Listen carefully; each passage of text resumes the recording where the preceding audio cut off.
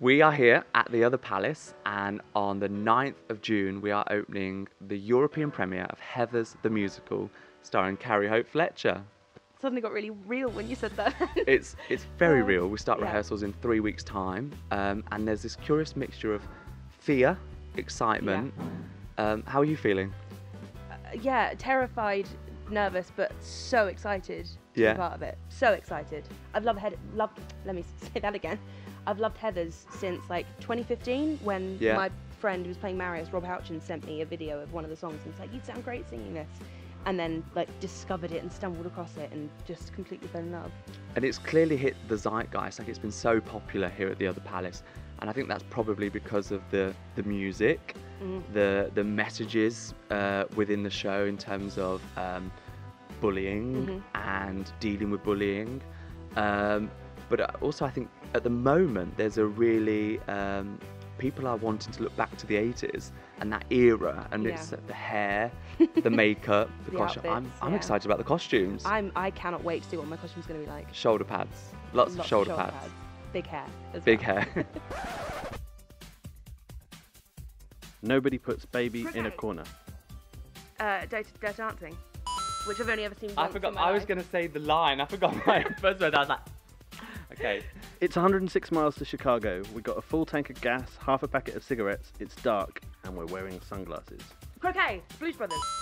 Correct. Oh God, you're really good. oh no, this is going to be so embarrassing. It's true. I chopped him up, but I didn't kill him. Croquet, is that Little Shop of Horrors?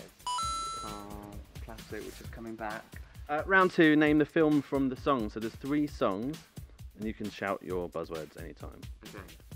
So first up, Papa, can you hear me? Chainsaw. Yentl. Thank God for Emma Kingston. Oh my goodness, I've got one. Yes.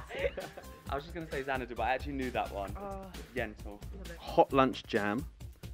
Not alone. Out here on my own. Chainsaw. Fame. Oh, I'm, I'm getting there. Get in there. Three Out here on two. my own. You know that one. No, I don't. Yeah, you do. It's like a big Can you sing it? Anthem. I'm not singing. You could you could give it a go. You don't know it. I don't know it.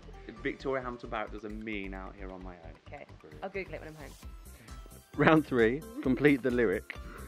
We saw the writing on the wall as we felt this magical. Chainsaw. Fantasy. Yeah? yes! Time of my life, Dirty Dancing. Love that. 3 3. 3 3. Question two. Look at this trove, treasures untold. Uh, croquet, how many wonders can one cabin hold? Of course you Mermaid. Yeah. Question three. When I'm stuck with a day that's grey and Chainsaw. No! Lonely. I got it. I got it. it's Rise Tomorrow I from Annie. that one, so. So that's for all. So the tiebreak question, closest wins. In what year was the was the Heathers film released in the United States? Paul Taylor Mills. I'm going to go with 86. Carrie Hope Fletcher.